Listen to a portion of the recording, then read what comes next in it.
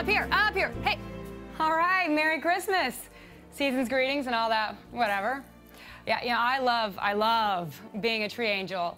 You, you, you, get a great view. It smells really nice up here. You know, the cat can't reach you. But I, I, have to tell you, um, it, it is not all silver bells and eggnog up here. No, it is not. Um, for starters, uh, you got me stuck on top of the tree, and these things are like powder kegs.